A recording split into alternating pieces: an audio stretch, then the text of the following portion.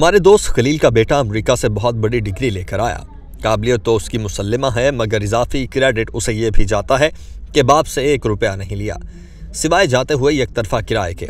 पढ़ाई भी करता रहा और साथ काम भी। अगरचे अक्सर तलबा इसी तरह करते हैं, लेकिन पाकिस्तान से नाजायज़ आमदनी रखने वालों के बच्चे वहाँ काम नहीं करते और पढ़ाई और दीगर तमाम अखराज वालद मोहतरम के लामहदूद वसाइल से ही पूरे होते हैं। फर्जंद की कामयाबी खुशी में उन्होंने एक तकरीब का अहतमाम किया। मैं भी मदू था। पूरा हॉल बुक करवाया गया। यूँ लगता था जैसे शादी खाना आबादी की तकरीब हो। तकरीब के दूसरे दिन मैं और खलील क्लब में चाय पी रहे थे। ये हम चंद दोस्तों का मामूल है कि कोई खास मसरूफियत ना हो तो शाम को मिल बैठते हैं। बातों बातों में खलील ने तकरीब के हवाले से बताया कि उसे हैरत भी हुई और दुख भी। सोशल मीडिया के इस ज़माने में जब रबता करना इंतहाई सहल हो चुका है, बहुत से लोगों ने जो मदू थे, दावती पैगाम का जवाब नहीं दिया। आजकल नर्म याद दहानी सॉफ्ट रिमाइंडर का रिवाज चल पड़ा है। खलील के बकौल उसने याद दहानी भी करवाई, फिर भी ऐसे हजरात की अच्छी खासी तादाद थी, जिन्होंने आखिर वक्त तक कन्फर्म किया, ना माजरत की, ना शरीक हुए। जो तजुर्बा खलील को हुआ है, वो मुझे भी बारहा हुआ है। आपको भी हुआ होगा। ये एक बैरोमीटर है जिससे हम अपने मुआरे की जहनी पुख्तगी माप सकते हैं। जहनी पुख्तगी मुख्तलिफ़ हिस्सों में तकसीम की जा सकती है। मसलन, वक्त की पाबंदी, पैगाम या फ़ोन कॉल का जवाब, ट्रैफ़िक के हवाले से रवैया, कितारबंदी, शुक्रिया अदा करना और दीगर बहुत से मामला। असल सवाल ये है कि शहरी के तौर पर एक पाकिस्तानी कहाँ खड़ा है? अगर फ़र्द अपने फ़्राय सर अंजाम नहीं दे रहा तो उसे कोई हक नहीं कि मुआरे की शिकायत करे या हुकूमत या रियासत का गिला करे। इससे भी बड़ा सितम यह है कि हम जहनी नापुख्तगी के इन मज़ाहिर को अहमियत ही नहीं देते। अब किसी से शिकवा करें कि आपने दावतनामे का जवाब दिया, ना ही तशरीफ़ लाए तो वो हंस देगा और किसी मसरूफियत का बहाना बना देगा, मगर इसे हरगिज़ ये एहसास नहीं होगा कि जवाब ना देकर ये माजरत ना करके उसने साबित कर दिया है कि वो एक जिम्मेदार शहरी है, ना मुहज़ब हम बतौर फ़र्द मुकम्मल तौर पर नाकाम हैं, मगर बात रियासत की करते हैं। अमरीका के खिलाफ दफ्तर शिकायत खोल बैठते हैं। इदारों पर तनकीद करते हैं, हुकूमत की मजम्मत करते हैं, सियासतदानों पर तिब्रा करते हैं और ब्यूरोसी को बुरा भला कहते हैं। एक उंगली दूसरों की तरफ़ हो तो चार अपनी तरफ़ होती हैं, जिन्हें देखने से हम कासिर हैं। इस जहनी अदम, बलोगत या जहनी नापुख्तगी की ज़िम्मेदारी दो इदारों पर आयद होती है। एक इदारे का नाम घर है, दूसरे इदारे का नाम स्कूल है।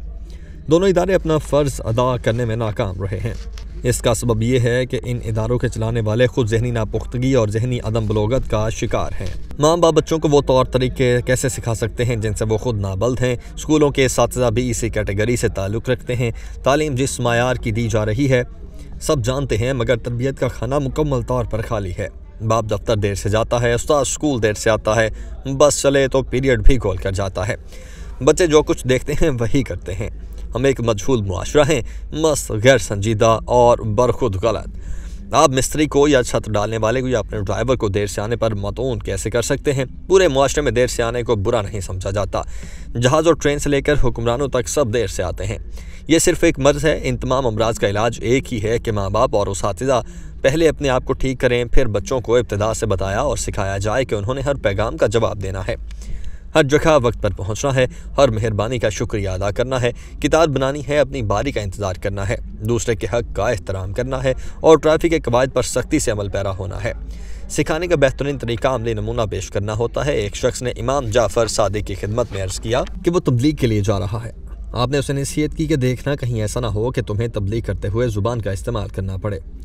हम बतौर कौम सफ़ाकत तक अहमक, गाउदी, बोदे और होनक हैं। इस कदर के हम खुशी मनाने का तरीका भी नहीं जानते, बसंत मनाते हैं तो लोगों के गले काट देते हैं। तीन दिन पहले कराची में जिस तरह न्यू ईयर नाइट मनाई गई, उस पर मातम किया जा सकता है। तीन साल की सानिया अपने घर के सहन में अपने माँ बाप के साथ सोई हुई थी। नए साल की खुशी में हवाई फायरिंग की गई। गोली घर के अंदर आ गई। सोई हुई सानिया के सर में लगी। उसे हॉस्पिटल ले जाया गया। सर्जन ने उसे बचाने की कोशिश की, मगर नाकाम रही। ये कैसी खुशी है? ये कैसा जश्न है? चार दीवारी की हुरमत कहाँ गई? एक तीन साल बच्ची अपने घर में सो रही है, सर में गोली लगती है, वो हलाक हो जाती है। उसके माँ बाप पर क्या गुजर रही है? क्या ऐसा वैश्याना जश्न किसी और मुल्क में मनाया जाता है? हो सकता है अफ्रीका के आदमखोर कबीलों में ऐसा होता हो। तीस चालीस अफराद जख्मी हुए, कराची के तीनों बड़े हॉस्पिटल इन जख्मियों की देखभाल में मसरूफ़ रहे।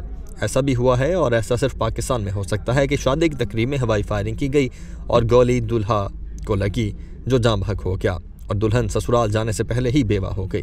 उसी साल अगस्त में वजीरस्तान में दुल्हा ने अपनी शादी की तकरीब में हवाई फायरिंग की और अपने ही तीन भतीजों को हलाक और दो को जख्मी कर दिया। कुछ अर्सा पहले कहूटा में शादी के मौके पर हवाई फायरिंग में दुल्हे का वालिद और चची जाम हक हो गए।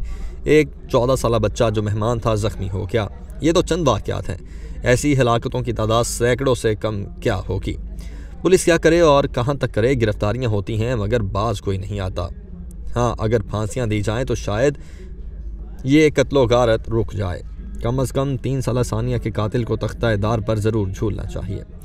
फ़र्द का रवैया किसी भी कौम की तरक्की का पहला पड़ाव है। शहराहों, हवाई अड्डों, सनतों का नंबर बाद में आता है।